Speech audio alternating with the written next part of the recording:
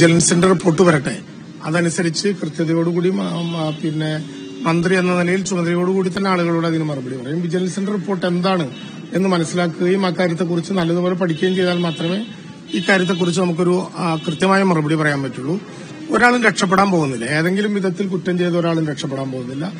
അങ്ങനെ ആരെങ്കിലും ഒരാൾ കുറ്റം ചെയ്തതിന്റെ പേരിൽ അർഹരായ ഒരാൾക്കും ചികിത്സാ സഹായം നിഷേധിക്കാനും പോകുന്നില്ല. അതുകൂടി ആളുകൾ മനസ്സിലാക്കണം. കാരണം ഇപ്പോ വ്യാപകമായി സി എം ഡി ആർ എഫിൽ എന്തോ വലിയ ക്രമക്കേട് എന്ന് പറയുന്നതിന്റെ പേരിൽ അപേക്ഷ കൊടുത്തി കാത്തിരിക്കുന്ന ആയിരക്കണക്കിന് ആളുകൾ വലിയ ആശങ്കയിലാണ്. അവർ ഇനി ഞങ്ങൾക്ക് സഹായം ലഭ്യമാകാതെ പോകുമോ എന്ന ഭീതിയുണ്ട്.